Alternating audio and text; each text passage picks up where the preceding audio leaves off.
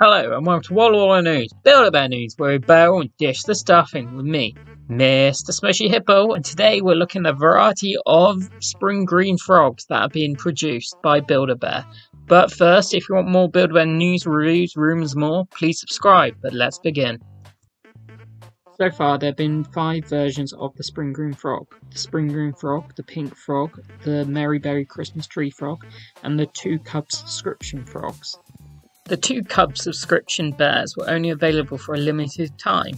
They were not released in store or online, you could only get them through the Cub subscription. The limited edition frogs were slightly smaller than the normal spring green frogs, but they still packed a punch. The Cub subscription box of the Spring Green Frogs came with a variety of Spring Green Frog accessories that for you and your bear.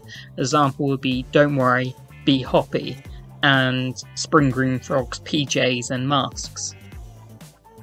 Sadly, this was a limited edition box that was exclusive to the Cub subscription service, where you pay $120 a year and you get four annual bears a year, where each of the boxes are themed around a specific Build-A-Bear. And these Build-A-Bears are limited edition towards this subscription. Personally, the Cub subscription, uh, Spring Green Frog, is one of my favourites, and it's one of the most unique spring green frogs they produced. It has a spring green frog blue heart on its chest, and it's one of the only few Build-A-Bears that doesn't have a Build-A-Bear mark on its paw. But not all of the accessory items in the box were exclusive. You can still get the Spring Green Frog PJs and mask on the Build-A-Bear website.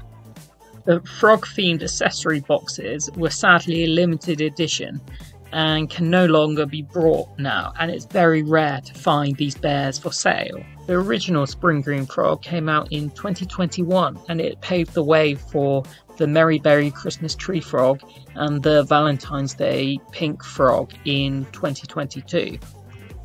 The Spring Green Frog has been received by fans with astonishment and amazement and love the point where this bear is getting its own customization by fans and fans are producing multiple different array of coloured themed spring green frogs and they all look amazing. With the vast popularity of the spring green frogs, we're bound to see many more spring green frogs variations to be released in 2022. So, tell us what you think of the variety of Build-A-Bear spring green frogs they produce, and are there any that you want in 2022? But that's all we've got time for on Wallow Wallow News, Build-A-Bear News. Like and subscribe for more Build-A-Bear news and reviews. Good night and good wallowing.